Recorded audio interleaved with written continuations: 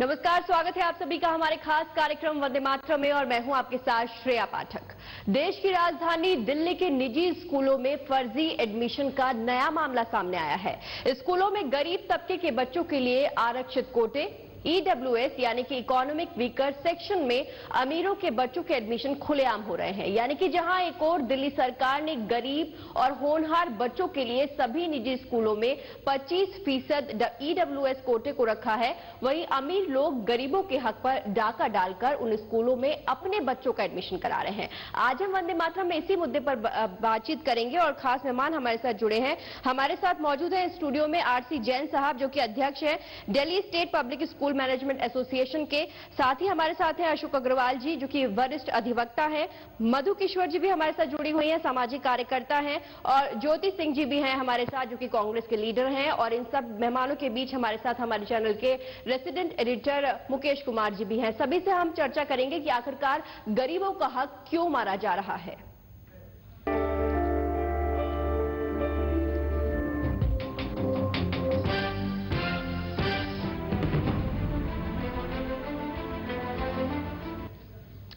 तो ईडब्ल्यूएस कोटे के तहत आर्थिक रूप से कमज़ोर तबके के बच्चों को स्कूलों में एडमिशन मिलता है। और आपको ये भी बता दें कि ये कोटा देश के सभी निजी स्कूलों में मिलता है। लेकिन गरीबों के लिए आरक्षित इन सीटों को शिक्षा के दलालों ने फर्जी एडमिशन कराने और उससे पैसे कमाने का ज़रिया बना लेते हैं। आइए आपको दिखाते हैं अपनी खास रिपोर्ट में।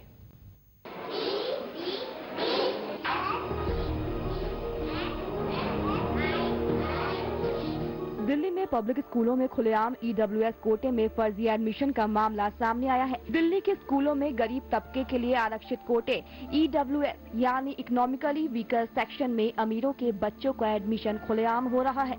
जी हाँ हैरानी की बात यह है कि अमीर लोग गरीबी का प्रमाण पत्र बनवा कर स्कूलों में अपने बच्चों को एडमिशन करवा रहे हैं। ईडब्ल्यूएस कोटे के तहत आर्थिक रूप से कमज़ोर तबके के बच्चों को स्कूलों में दाखिला मिलता है। इस गोरख धंधे में स्कूल अभिभावक और दलाल तीनों की मिली भगत होती है। पैसा फेंको, तमाशा देखो की तर्ज पर पूरा खेल चलता है। फर्जी प्रमाण पत्रों के ज़रिए ईडब्ल्यूएस कोटे के लिए ज़रूरी कागजातों की कमी पूरी कर ली जाती है।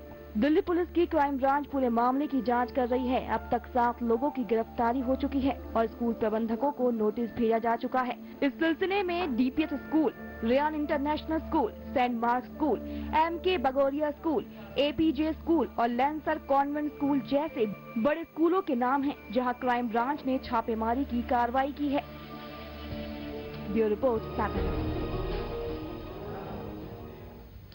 तो दिल्ली में रहने वाले हर एक माँ बाप की ख्वाहिश होती है कि उनका बच्चा भी एक बड़े स्कूल में शिक्षा ग्रहण करे।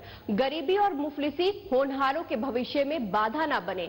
इसी के लिए सरकार ने ईडब्ल्यूएस की शुरुआत की थी, लेकिन आज जो ईडब्ल्यूएस का हाल है, जो 25 फ़ीसद सीटें बच्चों के लिए हुआ करती थी, वो भी उन्हें नसीब नहीं हो रही है। आज हम इसी पर चर्चा करेंगे और शुरुआत में सबसे पहले कार्यक्रम की करना चाहूँगी आरसी जैन साहब से। सर, आपकी रिस्पॉन्सिबिलिटी बनती है, इसलिए सवाल उठना बहुत ज़रूरी है कि सीटें सीटें जो थी गरीबों के लिए हैं और शिक्षा ले रहे हैं वहाँ पे अमीर। देखिए पहले तो मैं आपको एक बात जानकारी में दे दूँ कि जब ये ईडब्ल्यू e शुरू हुआ था चाहे वो आरटीई के तहत हुआ हो चाहे इससे पहले जो दिल्ली में डीडीए से जो लैंड मिली है उसमें होता था। जी। मेरा आज भी आपके माध्यम से ये चैलेंज है कि जितने भी दिल्ली में आज तक ईडब्ल्यू e में दाखिले हुए हैं जी। मैंने हर चैनल पे ये बात कही कि 90 परसेंट दाखिले जो है ना उसमें फर्जी हैं। कारण एक लाख रुपए इनकम तो आज जो आपके घर में माई आती है काम करने के लिए उसकी बन जाती है। जितने भी दाखले अगर उनकी गहराई से जाँच की जाएगी तो एसडीएम के ऑफ़िस से जिस प्रकार से फर्जी सर्टिफिकेट इशू किए जाते हैं दलाल जिस प्रकार से वहाँ घूमते हैं पिछले आठ दस सालों से मैं बराबर इस बात को उठाता आ रहा हूँ कि जिन लोगों को ये मिलना चाहिए था उनको नहीं मिला। 90 हम्म। परसेंट दाखिले जितने भी होते हैं उनमें ऐसे फर्जी होते हैं। सरकार की पहले तो और दूसरा यह है कि सरकार ने जो एक भेद पैदा कर दिया है कि जनरल कैटेगरी के लिए एक लाख रुपए की पारिवारिक इनकम होनी चाहिए एस सी एस टी के लिए चाहे वो एक करोड़ रुपए रोज की भी आमदनी उसकी है। वो ईडब्ल्यूएस e में दाखला लेगा और ओबीसी के लिए साढ़े चार लाख की लिमिट है। तो हम्म। पहले तो सरकार की अपनी पॉलिसी ही गलत है। अगर आपको ईडब्ल्यूएस इकोनॉमिकली वीकर सेक्शन का अगर आप इसको नाम देते हैं जैसा तो फिर अभी फिर, आज जो हम लोग डिस्कस कर रहे हैं ये पॉलिसी पे नहीं डिस्कस कर रहे क्योंकि ये डिस्कशन है इस बार। इस बात को लेकर है कि ईडब्ल्यूएस कोटे का कैसे दुरुपयोग हो रहा है। किस तरीके से फर्जी तरीके से सीट कोटे की बेची जा रही है और जो पैसे वाले लोग हैं वो इस कोटे का इस्तेमाल कर रहे हैं। और आपने जो कहा जो दाई जो आपके यहाँ बाई जो काम करने के लिए आती है उस, उसका इनकम भी एक लाख से ज़्यादा है। बिल्कुल सही है। ये एक अलग मुद्दा है कि अब क्राइटेरिया किस तरीके से चेंज किया जाए इनकम हम्म। टैक्स जो आमदनी का ज़रिया है वो क्राइटेरिया चेंज करने का मामला है। लेकिन अभी जो हम लोग चर्चा कर रहे हैं ये चर्चा ये है कि कोटे का की सीट को किस तरीके से हाँ, खुलेआम बेचा जा रहा है। इसमें स्कूल प्रबंधन दलाल और जो अभिभावक है तीनों दोषी है। इस पर हम चर्चा कर रहे हैं और स्कूल का पक्ष हम जानना चाह रहे हैं। क्या स्कूल यदि सख्त हो जाए क्या स्कूल अब आँख मूंद के रह सकता है? क्या स्कूल की मिली भगत के बिना यह संभव है कि इस कोटे की सीट जो है वो किसी अभिभावक को बेच दी जाए? नहीं देखिए जहाँ तक बेचने की बात है इससे तो मैं सहमत नहीं हूँ हाँ ये ज़रूर है नहीं एक ऑपरेशन में बात सामने आ चुका है दिल्ली क्राइम ब्रांच है मैं चर्चा कर रही मेरी बात सुनिए। एक बहुत ही प्यूरिफाइड दिल्ली में प्रोसेस है ईडब्ल्यूएस के बच्चों के दाखिले के लिए। कि जो बच्चा किसी भी स्कूल में अप्लाई करता है, पहले एक किलोमीटर तक का जो बच्चा है, स्कूल के आसपास का, उसके बच्चे को दाखिला देना है। और उसके लिए भी बाकायदा उस बच्चे का, उसको इन्फॉर्म किया जाएगा, उसको बुलाया जाएगा, उसके पेरेंट्स को, दो गवर्नमेंट के अधिकारी होंगे, उनके सामने उन सभी बच्चों के नाम मटके में डाले जाएँगे, उसमें से वो नाम निकालेगा, एक अधिकारी निकाले या बच्चा निकालो, बाकायदा उसकी वीडियोग्राफी बनेगी। तो अगर इस इतने प्यूरिफाइड सिस्टम के बाद भी अगर कहीं गड़बड़ी हुई है तो मैं इस बात से इनकार नहीं करूँगा कि इसमें कहीं ना कहीं कहीं ना कहीं उस बॉल में एक ही बच्चे एक ही नाम के कितने बच्चों के पर्ची डाले हुए हैं इस बात की जानकारी कौन देगा? इस आप बात तो पर्ची निकाल लेते हैं लेकिन उसमें हाँ। एक ही नाम के पचास पर्ची डाले और एक ही नाम के कौन एक ही इनकम जो सर्टिफिकेट बनता है एक ही बाप के नाम पर तीन तीन देखिए जहाँ तक एक ही बच्चे के नाम की पचास पर्ची डाल दी जाए तो उसके लिए जो अभिभावक और जो अधिकारी वहाँ पर इस काम की ज़िम्मेदारी जिनको इसमें स्कूल की मिली भगत के बिना नहीं हो सकता। स्कूल की रोल रोल को भी समझना होगा जानना होगा। मधु किशोर जी हमारे साथ हैं। आपकी बात से सहमत भी चर्चा करें मैं आपकी बात से सहमत हूँ पर इसमें कहीं ना कहीं हमें एक विजिलेंट उसकी तरह से यहाँ भी ध्यान देना पड़ेगा कि जब आपके सामने मटके में नाम डाले जा रहे हैं उसका या तो एक तरीका है कि जो भी पेरेंट्स वहाँ पे अवेलेबल है खाली उनके नाम डाले जाए। तो एक रास्ता निकल सकता तो है। वही तो सवाल खड़ा हो रहा है कहाँ पर बदलाव की ज़रूरत है क्योंकि यहाँ जो हमारे साथ जैन साहब हैं वो कभी सरकार को कटघरे में खड़ा कर रहे हैं तो कभी एसडीएम ऑफ़िस पर उंगलियाँ उठा रहे हैं। मधु किश्वर जी हमारे साथ लगातार जुड़ी हुई हैं। किश्वर जी आप किसको जिम्मेदार मानती हैं और किसकी जवाबदेही तय होनी चाहिए? देखिए मैं थोड़ा लकीर से हटकर इस समस्या के जड़ तक जाना चाहती हूँ उसकी तह तक जाना चाहती जी। करप्शन और इस किस्म के स्कैम्स निहित हैं जब आप स्कैरसिटी आर्टिफिशियल स्कैरसिटी पैदा करते हैं आज के दिन ऐसा क्यों है कि स्कूल खोलना एक प्राइवेट स्कूल खोलना इतना मुश्किल है एक कारगिल वॉर जीतना जितना मुश्किल नहीं होगा हम्म। क्योंकि लाइसेंस कोटा राज आसानी से आपको स्कूल खोलने के लिए लाइसेंस नहीं मिलेगा। पॉलिटिकल कनेक्शन हो, घूसखोरी हो, फला ढिमका हो, और इसकी वजह से स्कूलों की कमी है। और जब कमी होगी स्कैसिटी होगी तो ज़ाहिर है कि करप्शन होगी। अब किसी भी परिवार का मन, हर परिवार का मन करता है कि मेरा बच्चा अच्छे स्कूल में पढ़े। सबसे बड़ा स्कैम तो ये है कि सरकार प्राइवेट स्कूलों पे ये थोप रही है कि वो इकोनॉमिकली वीकर सेक्शंस को अच्छी शिक्षा दे मुझे ये बताइए सरकारी स्कूल इतनी बड़ी तनख्वाहें दे रहे हैं आज के दिन टीचर्स को हम्म। वहाँ क्यों इतनी नालायक स्कूली शिक्षा है कि फ्री यूनिफॉर्म है फ्री मील है फ्री डिमका फ्री ताम जाम फिर भी लोग सरकारी स्कूल में शिक्षा नहीं प्राप्त कर रहे इसके हम्म। लिए प्राइवेट स्कूल्स की के पीछे मारामारी है हमारे किसी पड़ोसी मुल्क में देख लीजिए श्रीलंका में देख लीजिए थाईलैंड में देख लीजिए एशिया के कितने और देशों में देख लीजिए कहीं सरकारी स्कूलों की ये बदहाली नहीं है अगर सरकारी स्कूल वो सबसे बड़ा स्कैम है कि आप इतनी तनख्वाहें दे रहे हैं करोड़ों अरबों रुपया खर्च कर रहे हैं और आपके स्कूल में बिल्कुल सरकारी शिक्षक के बच्चे भी सरकारी स्कूल में जाना नहीं चाहते। बिल्कुल अभी पंजाब का भी मामला बिल्कुल बिल्कुल मधु जी सहमत हूँ आपसे। अभी पंजाब में जो इस मामला आया है पंजाब के स्कूल के टीचर की जो बात आई है कि उन्हें खुद रिपोर्ट लिखने नहीं आ रही थी। लेकिन आपने तो ये बात कही जो सरकारी स्कूल का स्टैंडर्ड सरकारी स्कूल में बच्चे क्यों नहीं जाते? लेकिन दिल्ली का जो आंकड़ा है, दिल्ली में तो 60 परसेंट जो स्टूडेंट हैं वो सरकारी स्कूल में पढ़ रहे केवल 40 परसेंट बच्चे ही जो है प्राइवेट स्कूल की तरफ़ है। प्राइवेट मैं, मेरा कहना यह है कि सरकारी स्कूल में लोग मजबूरी से जाते हैं। कोई चॉइस से आज सरकारी कर्मचारी भी अपने बच्चे को सरकारी स्कूल में नहीं भेजना चाहता। सरकारी शिक्षक भी अपने बच्चे को सरकारी स्कूल में शिक्षा नहीं देना चाहता। क्यों? और मारा मारी क्यों प्राइवेट स्कूल्स की तरफ़ है? वो कम टीचर्स को तनख्वाह देते हैं, बहुत कम देते हैं। फिर भी वहाँ पढ़ाई हो जाती है। अच्छी खासी तनख्वाहें दे के भी सरकारी स्कूल काम नहीं ये सबसे बड़ा स्कैम है। दूसरा, आप क्यों नहीं खुलने देते, छूट दे देते? आसानी से स्कूल कोई अच्छा खोल सके। क्यों हमको पॉलिटिकल पेट्रोनेज की ज़रूरत हो स्कूल खोलने के लिए? लाइसेंस नहीं मिलता। जैसे गुजरात सरकार ने एक ट्रांसपेरेंट प्रोसीजर बना दिया था प्राइवेट स्कूल और कॉलेज खोलने का। सारा ऑनलाइन एप्लीकेशन है क्राइटेरिया स्पष्ट है। तो सारा भ्रष्ट सिस्टम खत्म हो गया एक झटके में। वो सिस्टम अगर आप लागू करें तो जो डिमांड और सप्लाई के बीच में खाई पैदा कर दी है सरकार ने तो अगर डिमांड कम है ज़्यादा है और सप्लाई कम है तो भ्रष्टाचार होगा चाहे वो ट्रेन टिकट हो चाहे वो स्कूल की एडमिशन बिल्कुल सही बिल्कुल सही कहा आपने जैन साहब आपसे कुछ पूछना चाहता स्कूल खोलने पे राइट टू एजुकेशन एक्ट में 10 साल की सजा का प्रोविज़न है। एक लाख रुपए रोज का जुर्माना है। मधु किश्वर जी की बात का मैं समर्थन करता हूँ। राइट टू एजुकेशन एक्ट में ऐसा प्रोविज़न है।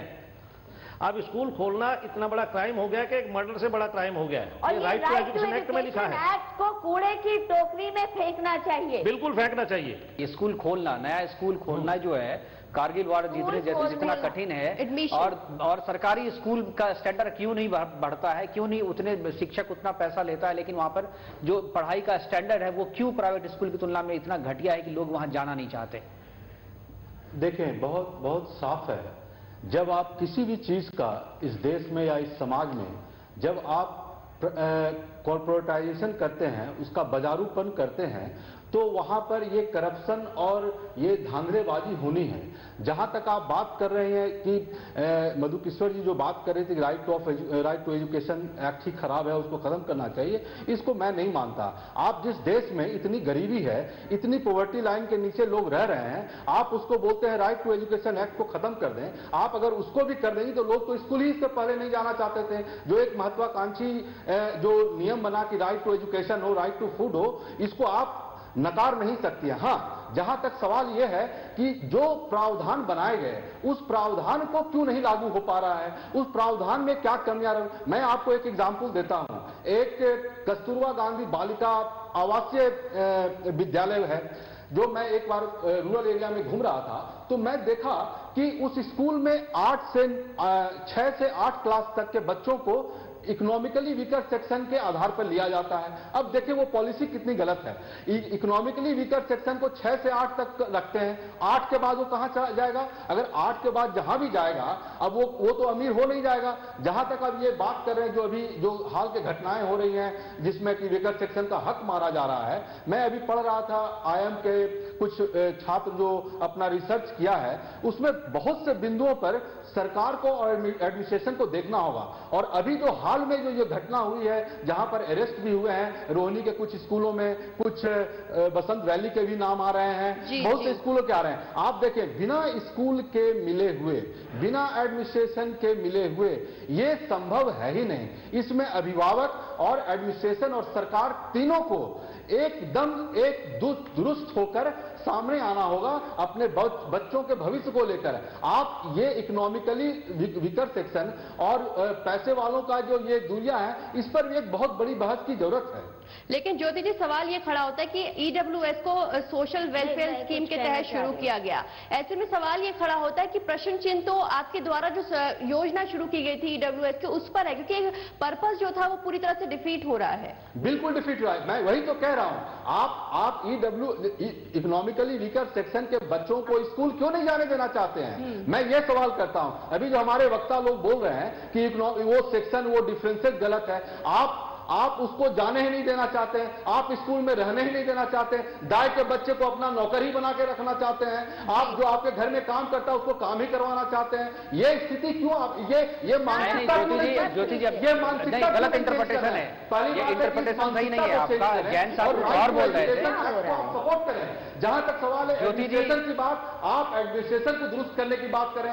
जो जो प्राइवेट स्कूल जो जो ये नक्सल की तरह काम कर रहा है नक्सल की तरह काम कर रहा है ज्योति जी शायद हमारी बहस मुद्दे से भटक रही है। अशोक क्या नाराबाजी जी जी ज्योति जी जैन साहब आपके पास भी आएँगे हमारे साथ। सुन लीजिए जी जी बोलिए। सिर्फ़ एक छोटा सा सवाल ये है कि ये जो 25 प्रतिशत बच्चों को आप फ्री शिप की बात करते हैं इसका बोझ पिछहत्तर परसेंट क्यों उठा रहा है? सरकार इसके लिए फंडिंग क्यों नहीं करती बस मेन सवाल मेरा ये है। चलिए ये बात भी हम करेंगे अब इस पर चर्चा करेंगे। हमारे साथ अशोक अग्रवाल अशोक अग्रवाल जी हैं। अशोक अग्रवाल जी से जानना चाहेंगे। अशोक जी जिस तरीके से फर्जी कोटे के आधार पे फर्जी कोटे की बिक्री हो रही है और इसमें एडमिशन लेने के लिए जो प्रमाण पत्र यूज़ किए जा रहे हैं एसडीएम के यहाँ से जो है वो इनकम सर्टिफिकेट बनाया जा रहा है फर्जी। इसके अलावा आवास प्रमाण पत्र फर्जी बनाया जा रहा है और स्कूल जो है अपनी रिस्पॉन्सिबिलिटी नहीं समझ रही। उनको कहना है कि मुझे एसडीएम ने दिया है हम्म। तो इसकी मैं इसको पूरी इज़्ज़त से रखता हूँ और उसके आधार आगे जो है मैं कोई जाँच अपनी तरीके से नहीं कर सकता। क्या आपको लगता है कि स्कूल की भूमिका जो है, यहाँ पे आके खत्म हो जाती है एडमिशन के बाद? या अगर स्कूल भी अपने तरीके से इनिशिएटिव ले और उसको लगे कि जो स्टूडेंट हमारे यहाँ ईडब्ल्यूएस e कोटे में एडमिशन लिया है और वो अगर बीएमडब्ल्यू से स्कूल आ रहा है तो उस पर जाँच होनी चाहिए। स्कूल को शिकायत करनी चाहिए अथॉरिटी को। देखिए, पहले तो मैं ये कहना चाहूँगा कि हमारे जो ज्योति जी कह रहे हैं, वो मैं पूरी तरीके से उनसे सहमत हूँ। दूसरी बात ये है कि जो हमारे आलसी जैन साहब एक जर्नलाइज स्टेटमेंट दे रहे हैं कि 90 परसेंट जो एडमिशन हैं, वो सब बोगस हैं फोर्स्ड हैं, मैं बिल्कुल भी उनके साथ सहमत नहीं हूँ। उनके पास कोई ऐसा डाटा भी नहीं है। और अभी भी पुलिस ने जो इन्वेस्टिगेशन करे हैं ना, उसमें कोई बहुत ज़्यादा नंबर नहीं है। लेकिन हो सकता है कुछ ज़्यादा नंबर हो, लेकिन इतने नहीं हो सकते कि 90 परसेंट जो है वो फर्जी हो। तीसरी बात यह है कि मधु जी जो कह रही हैं कि सरकारी स्कूल की खस्ता हालत होने की वजह से ये प्रॉब्लम है मैं उनके साथ सहमत हूँ। लेकिन मैं मधु जी के साथ ये सहमत नहीं हूँ कि गुजरात में जो है प्राइवेट स्कूल में कोई करप्शन नहीं है क्योंकि मैं डायरेक्टली जुड़ा हुआ हूँ वहाँ के पेरेंट्स के साथ जो बहुत सारे मुकदमे वहाँ पे गुजरात हाईकोर्ट में उन्होंने डाले हुए हैं फ़ीस को रेगुलेट करने के लिए जो एक्सेस फ़ीस ली जाती है उनसे। तो मुझे लग रहा है कि जहाँ तक करप्शन की बात है प्राइवेट स्कूल्स के अंदर।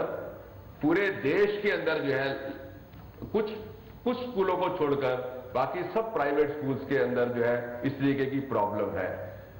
जहाँ तक आपके ये जो ये जो फर्जी सर्टिफिकेट्स की बात है देखिए मैं आपको बताऊँ कि 2000 मैं, 2004 में सबसे पहले मैंने ही दिल्ली हाईकोर्ट से ऑर्डर लिया था।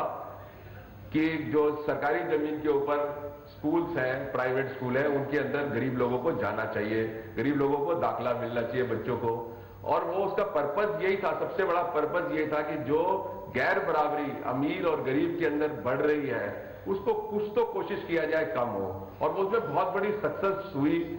और 2004 और 2005 में ये सिलसिला शुरू हुआ और उस वक्त सिर्फ़ इकोनॉमिकली वीकर सेक्शन ही होती थी।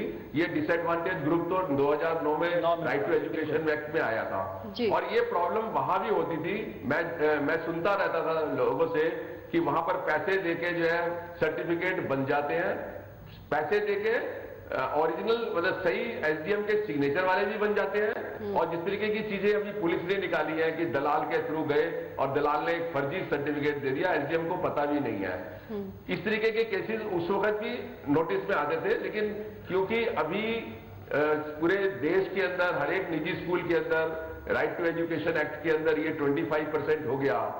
तो अभी मैं कुछ साल पहले एक टाइम्स ऑफ़ इंडिया के एक एडिटोरियल में पढ़ रहा था कि एक आईपीएस ऑफिसर 75 परसेंट जो फ़ीस चार्जिंग वाला वो होता है उसके अंदर उसका दाखला नहीं हुआ लेकिन 25 परसेंट में उसके ड्राइवर का दाखला हो गया। तो ये बड़े रिमार्केबल एग्जाम्पल्स है और इस तरीके के सैकड़ों एग्जाम्पल्स हैं जहाँ बहुत ही गरीब तबके के बच्चों को जो है वो इन स्कूलों में बिल्कुल लेकिन अशोक साहब अग्रवाल साहब एक सवाल यहाँ पे और है। जिस तरीके से 25 परसेंट जो इकोनॉमिकली वीकर सेक्शन के लिए रिजर्वेशन दिया गया है सभी निजी स्कूलों में दिया गया दिया गया है। लेकिन जो निजी स्कूल वाले हैं मालिक जो चला रहे हैं उनका उनके तरफ़ से ये कहा कहा जा रहा है कि ज़मीन तो हमें सरकार ने दी नहीं है सुविधाएँ तो सरकार हम दे, दे नहीं रही है। जो भी चीज़ें चार्ज किया जा रहा है कमर्शियली चार्ज किया जा रहा है और फिर 25 परसेंट सीट जो है वो हमसे मांगे मांगी जा रही है। तो ये उनका हक नहीं है ये जो है उनके हक को मारा जा रहा है क्योंकि स्कूल चलाने में भी बहुत खर्चा आता है। और दिल्ली की अगर बात करें तो 400 ऐसे स्कूल हैं जिनको सरकार ने ज़मीन दी है। इसके अलावा करीब 5000 से ज़्यादा स्कूल यहाँ पे चल रहे हैं। तो बाकी स्कूलों, स्कूल को तो सरकार ने कुछ दिया नहीं है तो फिर सीट क्यों मांग रही है सरकार? नहीं, देखिए, इसमें कुछ क्लैरिफिकेशन करने की ज़रूरत है। ये जो प्राइवेट स्कूल्स है ना, कुछ स्कूलों को छोड़ के, ऐसा नहीं है, सारे स्कूल खराब है। कुछ स्कूल सर्टेनली बहुत अच्छे हैं। लेकिन अधिकतर प्राइवेट स्कूल्स के अंदर जो बिज़नेस एक मैकेनिज्म शुरू हो गया है बिज़नेस वेंचर शुरू हो गया है, उसकी वजह से ये गरीब लोगों को तो दूर दूर रखना चाहते हैं। अमीर आदमियों को अमीर आदमियों के लिए ही स्कूल रखना चाहते हैं। ये तो इनकी मजबूरी है, कानूनन मजबूरी है कि इनको 25 परसेंट जो है बच्चों को लेना पड़ता है। दूसरी मैं आपको ये क्लैरिफाई कर दूँ कि ये जो 25 परसेंट जो 25 परसेंट जो राइट टू एजुकेशन एक्ट के अंदर प्राइवेट स्कूलों को लेना पड़ता है। उसके अंदर सरकार इनको पैसे देती है, उसका रीएम्बर्समेंट देती है। और आप, आपको मैं बताना चाहता हूँ कि दिल्ली में तेरह सौ रुपए प्रति बच्चे के, बच्चे को दिया जाता है प्रति मंथ, पर मंथ ये प्राइवेट स्कूल को। ये कम पैसे नहीं है। मुझे तो लगता है कि जो फ़ीस देने वाला पेरेंट है ना उसकी फ़ीस भी इससे ज़्यादा नहीं होनी चाहिए। क्योंकि अगर हिसाब लगाएँगे तो बिल्कुल ये, ये यही सवाल मैं करने वाला था यही सवाल मैं करने वाला था कि एक ही स्कूल में दो क्राइटेरिया क्यों? सरकार अगर ईडब्ल्यूएस कोटे के बच्चे के लिए पैसे दे रही है तेरह सौ रुपया तो जो सामान्य जो 75 परसेंट कोटे से जो बच्चे आ रहे हैं उससे पाँच हज़ार रुपए क्यों लिए जा रहे हैं? ये इस बात का जैन साहब जवाब दीजिए जैन साहब स्कूल भी चलाते हैं जैन साहब स्कूल भी चलाते हैं। मुकेश जी आप मुझे एक रिपोर्ट दिखा रही है अपने दर्शकों को। जी तो फ़िलहाल हम अपने दर्शकों को एक रिपोर्ट दिखाते हैं कि आखिरकार ये धंधा कैसे चलता है और किसको इसका सबसे ज़्यादा फ़ायदा हो रहा है। ईडब्ल्यूएस कोटे के तहत स्कूलों में एडमिशन की शुरुआत दिल्ली सरकार ने साल दो हज़ार ग्यारह में की थी जिसके तहत इन सीटों पर उन बच्चों को जगह मिलती थी जिनके अभिभावकों की सालाना आमदनी एक लाख से कम है। और चलिए अब हम आपको कुछ ऐसे रसूखदारों की सूची भी दिखाते दिखाते हैं, जिन्होंने दिल्ली के निजी स्कूलों में ईडब्ल्यूएस कोटे पर अपने बच्चों के एडमिशन करवाए हैं।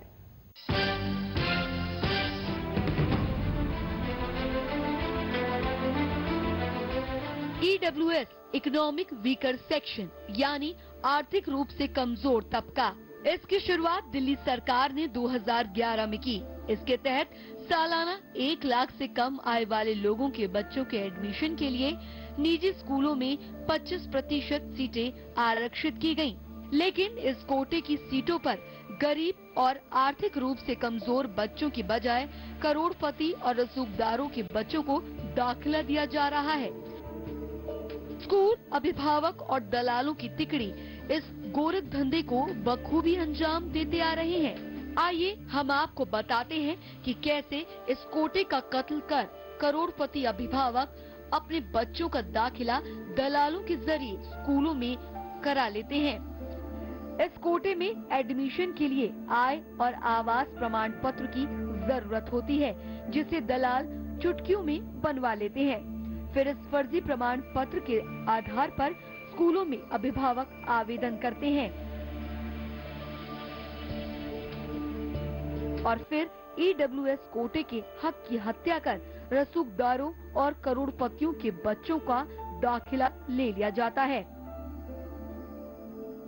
आइए हम आपको बताते हैं उन रसूखदार लोगों के बारे में, जिन्होंने बड़ी ही बेशर्मी से गरीबों के अधिकार मार लिए। गाजियाबाद नगर पालिका के जोनल चेयरमैन इब्राहिम मलिक ने अपने दो बच्चों का एडमिशन दिलशाद गार्डन के ग्रीन फ़ील्ड पब्लिक स्कूल में करवाया। दिल्ली प्रदेश कांग्रेस के सेक्रेटरी कुलदीप भाटी ने अपने दो बच्चों का एडमिशन दिलशाद गार्डन के इसी स्कूल में करवाया। वहीं दिल्ली नगर निगम के पार्षद योगेश चौधरी ने भी अपने एक बच्चे का एडमिशन दिलशाद गार्डन के ग्रीन फ़ील्ड पब्लिक स्कूल में करवाया। बीजेपी के पूर्व जोनल चेयरमैन सरदार सिंह भाटी ने भी अपने एक बच्चे का एडमिशन दिलशाद गार्डन के हंसराज स्मारक सीनियर सेकेंडरी स्कूल में करवाया। तो वहीं आरटीआई से मिली जानकारी के मुताबिक प्रीतमपुरा के प्राइवेट स्कूल में अट्ठासी में से अड़सठ आय प्रमाण पत्र फर्जी मिले। तो वहीं रोहिणी के हेरिटेज स्कूल में आठ फर्जी आय प्रमाण पत्र मिले। तो वहीं रोहिणी के विकास भारती में नौ फर्जी आय प्रमाण पत्र मिले। इस गोरख धंधे में दो तरह के दलाल काम करते हैं। एक प्रमाण पत्रों का जुगाड़ करते हैं और दूसरा स्कूल प्रबंधन को मैनेजमेंट का ईडब्ल्यूएस एस कोटे पर फर्जी प्रमाण पत्रों के ज़रिए दाखिला करवाते हैं। Bureau report, Sadhna news.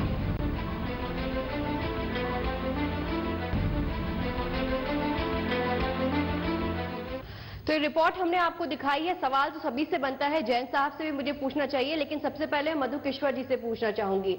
Madhu ji किसको जिम्मेदार मानती हैं? हमारे सिस्टम को पेरेंट्स को या फिर स्कूल एडमिनिस्ट्रेशन को? देखिए मैं आपको फिर उसी बात पर ले जाना चाहूँगी।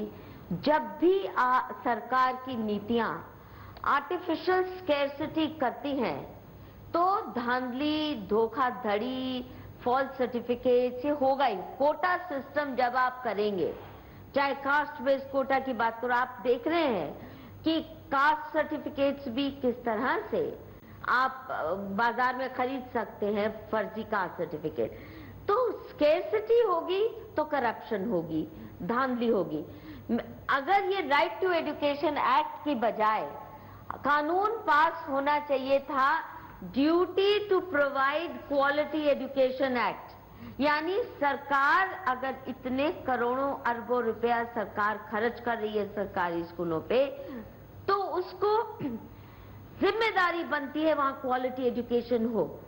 As a consumer of government services I should be able to sue the instead duty जो right to education act right to education act का क्या मायना है? आपके सरकारी स्कूल काम नहीं करते। और बेचारे माँ बाप के लिए मुसीबत बन जाती है एक नर्सरी में बच्चे को एडमिट कराना। आप सोचिए हम्म। लोग घर तक गिरवी देने को औरतें गहने तक गिरवी करती हैं एक नर्सरी की एडमिशन में। आप बताइए दुनिया में और कौन सा देश है जहाँ पे ये हालत है एक नर्सरी की एडमिशन जैन साहब जैन साहब कुछ पूछना चाह रहे हैं आपसे। जी जैन साहब। क्यों कमियाँ बनाई हैं आपने? बिल्कुल जैन साहब सवाल एक, एक सवाल रखना चाह रहे हैं जैन साहब मधु जी हाँ जैन साहब। मैं एक और बात बिल्कुल बिल्कुल। जी सवाल नहीं रखना चाह रहा। मेरा सवाल ये आता है कि आपने जब राइट टू एजुकेशन एक्ट बना था तो मैं वो एक अकेला व्यक्ति जिसने चैलेंज किया था डायरेक्टरेट में जाकर के उसमें मंत्रालय में कि ये पाँच परसेंट भी आपको रिज़ल्ट नहीं देगा क्योंकि इसको लागू करने की आपकी जो नीतियाँ वो ठीक नहीं है। मधु किशोर तो की चिंता कुछ और है। उनका कहना है कि सरकारी स्कूल में क्वालिटी एजुकेशन नहीं है जिसकी वजह से जो है वो छात्र जो है इधर उधर भटक रहे हैं। अब कहीं भी जो क्वालिटी एजुकेशन चाहता है वो प्राइवेट स्कूल में जाएगा। प्राइवेट स्कूल में जो चल रहा चल रहा है, स्कैंडल, उस स्कैंडल में कहीं ना कहीं फंसेगा।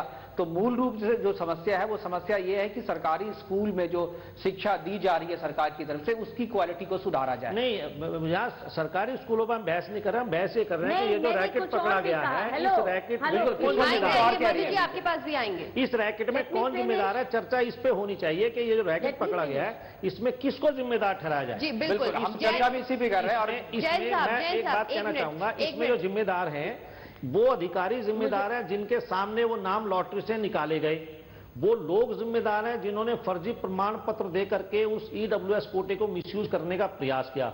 और कहीं ना कहीं कहीं ना कहीं मैं इस बात से भी इनकार नहीं किया जा कर, कर सकता क्योंकि अगर कोई स्कूल कहीं गलती करता है तो उसको बचाने के लिए मैं यहाँ नहीं बैठा हूँ। जी तो कहीं ना कहीं जैसे यहाँ पर एक सवाल मैं आपसे पूछना चाहूँगी। आप ना बाहरी लोगों की गलतियाँ बहुत निकाल रहे हैं। एक एग्ज़ाम्पल मैं आपको देती हूँ। मेरी अभी एक टीचर से बात हो रही थी उन्होंने मुझे बताया कि एक दिन मैं एक बच्चे को पढ़ा रही थी मैंने उससे पूछा कि तुम समर वेकेशन में कहाँ गए थे? उसने पेरिस यूरोप लंदन का नाम लिया जबकि वो ईडब्ल्यू e कोटे से आता था। एक ईडब्ल्यू e कोटे से आने वाला बच्चा क्या समर वेकेशन में पेरिस और यूरोप जा सकता है। तो क्या यहाँ पर बाहरी आप एसडीएम को बोल रहे हैं कि एसडीएम से एक चीज़ अप्रूव होकर आई। क्या वहाँ पर टीचर की रिस्पॉन्सिबिलिटी नहीं बनती कि वो इसे क्रॉस चेक करे कहीं शिकायत करे और फिर अगर उस शिकायत पर कार्रवाई नहीं हो रही है तो किसी और प्लेटफॉर्म पर जाकर आवाज़ उठाए? हमने ये कई बार सरकार के सामने प्रस्ताव रखा है कि हमारे पास मधु जी एक मिनट।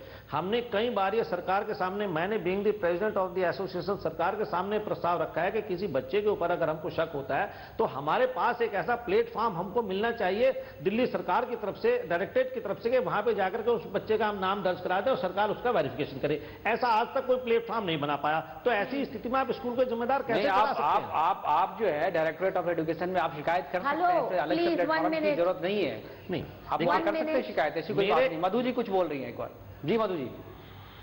देखिए, मैं कुछ कहना चाह रही हूँ। देखिए, आप बार बार ये जो रेड राज, इंस्पेक्टर राज बढ़ाना चाहते हैं, आप बताइए, जो परिवार आज पैसा देके भी उसको अच्छे स्कूल में नई शिक्षा मिल रही, वो जलील हो रहा है। क्यों हो रहा है? क्योंकि प्राइवेट स्कूल खुलने पर भी आपने इतनी बंदिशें लगाई है और राइट टू एजुकेशन एक्ट तो बिल्कुल जंग छेड़ दी है प्राइवेट सेक्टर एजुकेशन पे। 2006 में 4000 स्कूल दिल्ली में सील थे मैडम जी आपको बता सामाजिक न्याय 2006 में 4000 दिल्ली के स्कूल सीलिंग पे थे जो अपनी लैंड पे चलते हैं। उनको हमने बचाया बड़ी मुश्किल से लड़ाई झगड़ा करके। जी बिल्कुल। 2006 में 4000 स्कूल सील कर दिए थे दिल्ली में। आपके साथ हूँ मैं। बिल्कुल। और एक लंबी लड़ाई लड़ी मैंने राइट टू एजुकेशन एक्ट तो देखिए, एक मिनट। हिट, बिल्कुल हिटलेरियन है। और यूपीए सरकार ने, क्योंकि सारी गवर्नेंस का ठेका उल जलूल फॉरेन फंडेड एनजीओ को दे दिया था। और ये जो भी पॉलिसी कानून बनाते थे, सोनिया गांधी की जो एनएसी थी हर किस्म का बेवकूफ़ वाहियात कानून इन्होंने थोपा है हमारे ऊपर। और सब लोग क्योंकि उसके पीछे हमारे साथ कांग्रेस के नेता बैठ करके आपत्ति जता रहे हैं जब कुछ बोलना चाह रहे हैं। वो। ज्योति जी। बहुत दुर्भाग्यपूर्ण है कि किशोर जी को मैं बहुत दिनों से सुनता रहा हूँ, उनका प्रशंसक भी रहा हूँ, लेकिन बहुत ही आज दुर्भाग्यपूर्ण है कि जब ये बात कर रहे हैं, जब समाज में लोग राइट टू एजुकेशन सारे बच्चों को, हर समाज के हर तबके के लोगों को पढ़ाने की कांग्रेस ने बात की, सोनिया गांधी ने जब ये बात की तो उन्होंने क्या गलत किया कि आपके नौकर के आपके घर में गाय जो काम कर रही है, उसके बच्चे को पढ़ना चाहिए, क्या उन्होंने गुनाह कर दिया? आप उसको उसको, आप उसको नहीं क्रिटिसाइज कर रहे हैं। जो वन ए सेक्शन के तहत जो जनप्रति अधिनियम के तहत जो जिसमें जिसमें कि स्मृति ईरानी ने अपना हलफनामा तीन बार गलत दिया और वो वो हाई कोर्ट ने उसको एक्सेप्ट भी किया उसको अपराधी के रूप में उसको केस को चलाने के लिए उसका, उसका आप बात नहीं कर रहे हैं। आप उस सिस्टम का कुछ और सिस्टम की बात को आप गलत बोल रहे हैं जहाँ पर कि श्रीमती सोनिया गांधी ने समाज में हर लोगों को पढ़ाने की बात की और आप उसका तो कोई एक लाइन नहीं बोल रही हैं ऐसे कदम का भी क्या फ़ायदा ज्योति जी जिनके लिए वो बनाया गया है? ज्योति जी ज्योति जी ज्योति जी जनता पार्टी में इस भारतीय जनता पार्टी में जो शिक्षा का मुखिया जो कैबिनेट मिनिस्टर एचआरडी बनी है उनके ऊपर आपने एक बात नहीं बोला और जो श्रीमती सोनिया गांधी समाज में हर तबके को लेकर चलना चाहती थी हर तबके को अधिकार पढ़ने का अधिकार करना चाहती थी आप उसको बोल रही है रैकेटियर। उनको बात बताइए मुझे। कौन कौन से अल्फाज यूज़ कर रही हैं? ये बिल्कुल ठीक नहीं है ये बिल्कुल अगर हम अपना जवाब दे लीजिए आपने सवाल खड़ा किया है जी नहीं मुकेश जी अगर हम बात कर रहे हैं कि ये शिक्षा पद्धति गलत है या सही है अगर हम बात कर रहे हैं कि प्राइवेट प्राइवेट स्कूल में ये धांधली क्यों हो रही है? तो ठीक है लेकिन आप किसी सरकार को आप सरकार को किसी को जनहित के कारण में किया हुआ बात को आप कहते हैं कि ये गलत है और कैसे कैसे अल्फाज यूज़ कर रहे हैं? ये एक्सेप्टेबल नहीं। है जी आप मेरी बात सुनिए। मुकेश जी मैं आपको रोकना चाहूँगी। यहाँ एक सवाल मैं ज्योति जी से पूछना चाहती हूँ। ज्योति जी आप मुझे ये बताइए 2000 जैन साहब एक मिनट जैन साहब एक मिनट। आपने क्या कोई गवर्निंग बॉडी बनाई क्या कोई रेगुलेशन बनाया कि ये इसको टेक केयर करेंगे कि जो 25 परसेंट की आपने बात की है क्या वो जिनको अधिकार है 25 परसेंट सीटों पर एडमिशन लेने का क्या उन बच्चों को मिल रहा है? अगर ऐसा नहीं हो रहा है तभी तो आज ये इतना बड़ा मामला हमारे सामने आया है। क्या आपने उस रेगुलेशन के लिए कोई भी अथॉरिटी बनाई थी? मैं, दो मैं, साल से पूरे मामले सामने आ रहे हैं। एक बात बताऊँगा। राइट टू एजुकेशन एक्ट में कुछ प्रोविज़न ऐसे हैं जैसे आठवीं क्लास तक आपने बच्चों को फेल नहीं करना चाहे वो अपना नाम भी लिखना नहीं जानता है। इसका हमने विरोध किया। आपने स्कूल खोलने पे बैन लगाया कि मान्यता लोगे तो स्कूल चलाओगे हमने उस पर बैन वो किया। तो कुछ चीज़ें इसमें ऐसी हैं जो कॉर्पोरल पनिशमेंट के नाम पर टीचर का जो हरासमेंट होता है हमने उस पर ऐतराज किया। कुछ प्रोविज़न इसमें ऐसे हैं जैसे आप अगर मान्यता प्राप्त नहीं है तो आप स्कूल बंद करते नहीं तो एक लाख रुपए रोज का आपको जुर्माना लग जाएगा। तो मेरा कहने का मतलब है इसमें बहुत सारी चीज़ें जिनका इनिशियल स्टेज पर हमने विरोध किया था। दूसरी बात, ये जो 25 परसेंट है, इसको लागू करने से पहले आपको ये भी देखना चाहिए कि आपने बच्चों की संख्या सीमित कर दी कि तीस से ज़्यादा बच्चे आप एक क्लास में नहीं पढ़ाएँगे। आज मैं चालीस बच्चे भी पढ़ा लेता हूँ, ये जो दस बच्चे बाहर निकले, इनके लिए आपने नए स्कूल नहीं बनाए। जो ट्वेंटी बच्चा जो सरकारी स्कूल में पढ़ सकता था और पब्लिक स्कूलों में फ़ीस दे पढ़ता था, जो बच्चा उस फ़ीस देने वाले के लिए आपने नए स्कूल नहीं बनाए, वो कहाँ पढ़े? तो ये सारा जो आज देखने को मिल रहा है, जिसने फ़ीस देकर अपने बच्चे को पढ़ाना, वो किसी ना किसी तरह से रास्ता तो निकालेगी अपने बच्चे को पढ़ाने के लिए। ये सारी चीज़ें कमियाँ रही जिनके ऊपर हमें ध्यान का कंसर्न बहुत हम बिल्कुल उससे कंसर्न रखते हैं। एक सवाल जो हमारा था आपसे कि सरकार जब ईडब्ल्यू एस कोटे के लिए आपको पैसा अनुदान देती है तेरह सौ रुपया तो फिर आप जो निजी जो दूसरे 75 परसेंट वाले जो बच्चे हैं उनसे डबल ट्रिपल करके फ़ीस क्यों लेते हैं? तेरह सौ रुपए एक बच्चे का सपोज़ आपकी तरफ़ से मिल गया। पहले तो गवर्नमेंट देती नहीं है दिल्ली नगर निगम ने तो आज तक किसी एक स्कूल को दिया ही नहीं। उसको पता भी नहीं कि हमको पैसा देना है। जहाँ तक दिल्ली सरकार की तेरह सौ रुपए की बात है ये ग्यारह सौ नब्बे रुपए है बारह सौ रुपए इसमें एक टीचर की आज सैलरी साठ हज़ार रुपए बनती है। एक क्लास के लिए डेट साठ हज़ार कहाँ दे रहे हैं सर आप? अरे सर हमारे घर में भी टीचर है लोग आप ऐसे ऐसे नहीं कह सकते। आप साठ हज़ार जहाँ टीचर टीचर टीचर एक्सपीरियंस होता है टीचर जो बरानी होती है आप निकाल देते हो उसे। मुकेश जी नहीं। दूसरा टीचर ले ऐसा नहीं ऐसा आप सबके लिए नहीं कह सकते। मैं मैं उदाहरण दे सकता हूँ आप ऐसा सबके लिए मेरी सुन लीजिए मैं आपकी बात का जवाब दूँगा। डेढ़ टीचर एक क्लास जैन साहब का वो हिसाब हो गया है जो बात उनके फेवर में जैन साहब पास इतना टाइम नहीं है। है आपकी बात पे आऊँगा। मैं आपकी बात पे आऊँगा जैन साहब मैं जब आपसे फाइनल कमेंट लूँगी तब मैं आपकी पूरी बात पूरी कर लूँगी। फाइनल कमेंट में हम कर लेते हैं लेकिन उससे पहले हम कांग्रेस नेता शर्मिष्ठा मुखर्जी का इस पूरे मामले पर क्या कुछ कहना है वो हम आपको सुनवाते हैं। देखिए हम डेफिनेटली चाहेंगे कि सरकार इसमें प्रॉपर जाँच करे और इस तरह की चीज़ें नहीं होना चाहिए। और इस तरह की चीज़ें हुई है तो हम उनकी निंदा करते हैं और इसकी प्रॉपर डेफिनेटली जाँच होनी चाहिए क्योंकि एक सीरियस इशू है। सारे फ़ाइल सरकार के पास हैं, दिल्ली सरकार के पास हैं। हम यही बताना चाहेंगे कि उसमें ये प्रॉपर जाँच करे और अगर वो सीरियस हैं इस इशू में तो डेफिनेटली इसका प्रॉपर इंक्वायरी होना चाहिए। अशोक अग्रवाल जी, आप बहुत देर से चुप भी बैठे हैं और आपने पूरी बात भी सही से सुनी होगी। सब, बस एक लास्ट कमेंट मैं आपसे लेना चाहूँगी। इसमें ज़िम्मेदारी हम किसकी तय करें? स्कूल एसडीएम ऑफ़िस के भरोसे हैं? एसडीएम ऑफ़िस पता नहीं किसके भरोसे है, ये फ़िलहाल साफ़ नहीं है। देखिए एक तो मैं ये कहना चाहूँगा कि जैन साहब जो है ना हर अच्छी चीज़ का विरोध करते हैं। जी। राइट टू एजुकेशन एक्ट में जो 25 परसेंट का प्रोविज़न बना वो एक हिस्टोरिकल है।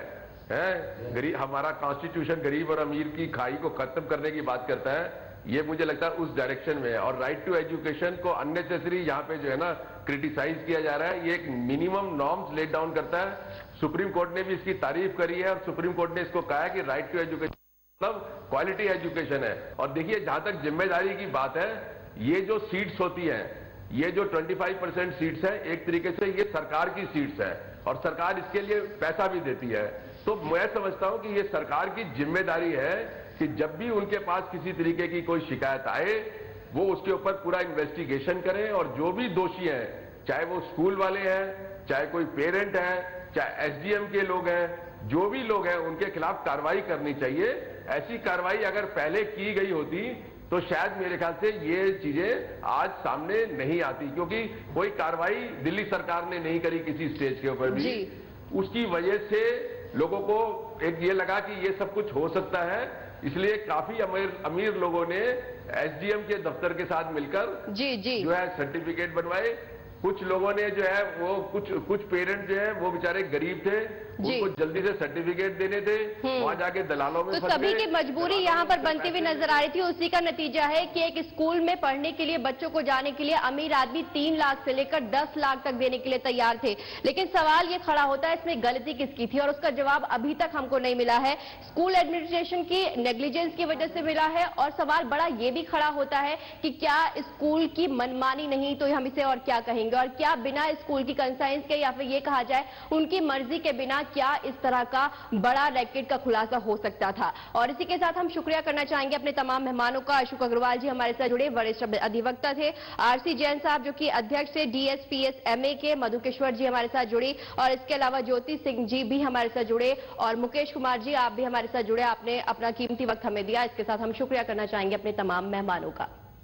तो दर्शकों, इसी के साथ हमारे खास कार्यक्रम वंदे मातरम में फ़िलहाल के लिए बस इतना ही। छोड़े जाते हैं आपको पब्लिक पंच के साथ।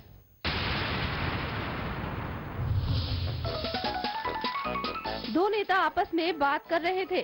एक नेता ने दूसरे से कहा, गनीमत है, नवाज़ शरीफ साहब ने शराफत दिखाते हुए साड़ी ही भेजी। अगर टोपी भेज देते तो फिर तो भैया बवाल हो जाता।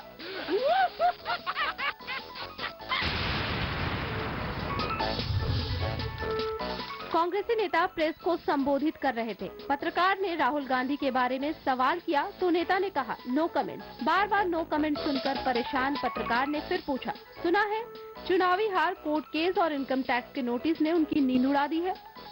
पत्रकार की बार बार सवाल पूछने की आदत से परेशान कांग्रेसी नेता बोले, अगर इन सब बातों से युवराज परेशान हो जाते तो क्या यूँ ही लोकसभा में चैन की नींद सो जाते?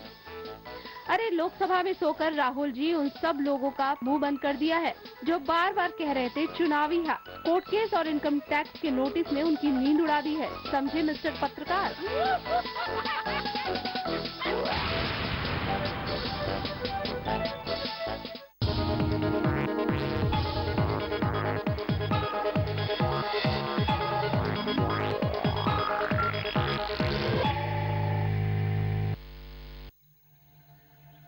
यूँ ही नहीं, मैं मैं बन जाता हूँ।